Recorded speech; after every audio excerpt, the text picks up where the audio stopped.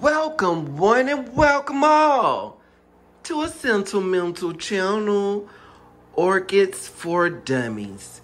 In today's video, I want to educate all of my new beginners on the method of water culture. How do I know if my Phalaenopsis orchid is responding normally or if it is showing signs of decline? Please help me, Phal Pal Darrell. Girl, you gotta stay tuned. Now, how I will go forward um, fertilizing them, you would have to stay tuned. This is not a update video. We are just going to briefly go through all of my Phalaenopsis orchids that are grown in the method of water culture. Look at their roots. Is it something that I would say is a success or is it something that is on the decline? In this scenario right here, this is going to be a complete success. This was a rootless, sick phalaenopsis. And with all of these roots, this is an orchid I'm definitely going to keep in the method of water culture. This is another um, seedling. Phalaenopsis orchid. I wanted to see if seedlings would be um, able to be grown in the method of water culture. Um, with all of this um, ooey and gooey, Okay, I have a new product in my home called Physan 2020. Before I give up on this um, Phalaenopsis orchid, I want to give it a good spray of Physan 2020, which is going to keep down all of that mold, okay? We're going to give it a try before we give up on this seedling, which only has two leaves, okay? I will keep you guys updated, but as I see it, you have to stay tuned. Now, this one right here, it took forever for a root to grow. It was already not in the best of care, but as of right now, I would say it is doing okay. Okay, okay? now um, the more roots that grow, um, the more I would cut back as far as those black roots, okay? But I'm not cutting them all at once. And when I do do slicing and dicing, I like to give them a dry day, 24 hours to close up that wound naturally. Even longer if it's able to sustain itself with multiple leaves, not just two, okay? So this is an orchid I'm definitely keeping my eye on as well uh, as the seedling this one right here, honey. Um, when you have all of this going on, if you guys have never seen two roots um, produced, oh no, she is stuck on the glass. She was stuck on the glass. But um, you see the two roots stuck to the rocks and everything.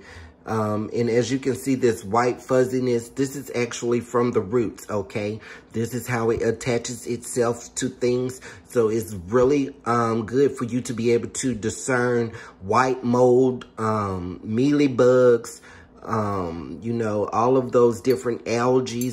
You need to know these things so you're, you're able to treat your Phalaenopsis with the best of care and not just your best educated guess. Stay tuned. Come on back.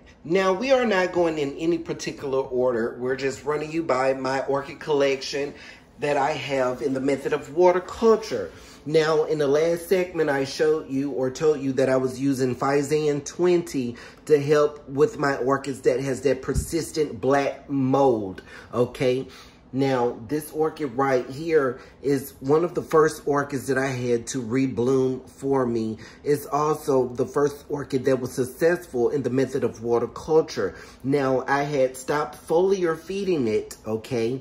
And I had potted it up and everything, so it has definitely been through. But this is one of the orchids that I have repeated the process, removing decaying media and everything, decaying matter, doing all of that. And the leaves are still wrinkly, okay, letting me know that it's not um, absorbing the water, okay, it's actually just rotting. The same with this leaf, very flimsy. That is going to be a major key factor to know that water culture is not working on that orchid. However, because it, I know that it has black mold, I want to treat the black mold even if it is not going to sustain itself in water culture because if I repot this Phalaenopsis orchid into some organic media, that mold will transfer and the whole pot will rot away. So we don't want to do that. So that is how you would know if an orchid is not responding adequately to the method of water culture. Now, this is a Phalaenopsis I got from Mother's Day, which is, is in May, and it has been in water for a very long time. And um, this small little leaf is all that it has produced. So in this event, I would know that this orchid is not going to like the method of water culture, whether or not um, fertilizing, okay? It just is not going to work for this particular orchid. Why, we don't know, but we don't want to wait until the last minute to try to do something about it. We want to act as swiftly as possible before all of those bottom leaves start to fall off, okay? So um, no root production and wrinkled leaves is going to be those major signs to look for in a Phalaenopsis orchid that is not responding to the method called water culture. This is also another seedling Phalaenopsis orchid that is not giving me any new root production, any new um, production at all. So this is another orchid that I would want to, you know, transfer into some moss, okay? You want to, especially if you have already tried water culture, you don't want to go directly from moss straight to bark, okay? Because those roots want something that is going to be soft and that's going to keep that water around it that is already accustomed to. Now, this is one of my new Phalaenopsis orchids that was given to me by Phal Pal Lisa okay, as a thick orchid that she, um, as you can see all these beautiful roots. So this is going to be just fine. This is going to be just fine. But I'm showing you a brand new orchid that I just put in water culture because I want you guys to keep in mind that growing in the method of water culture, introducing a new orchid to water culture, you will have to change the water. You see that ooey and gooey down there? It's clear, but it's ooey and gooey, and it's coming off this decaying matter, and it's all over the roots. That's what you want to keep your eyes out for, because if you wait to the last minute, it's going to rot away, and it's going to be too late. So being proactive about it, listening to the orchid, watching the leaves is how we are going to successfully grow orchids in the method called water culture. Stay Welcome tuned. on back, baby. Now, in the last segment, I had showed you ooey and gooey. I was trying to let you guys know until your Phalaenopsis orchid is able to sustain itself in water and the water stays clear and pure. How can I show you this? Here we go.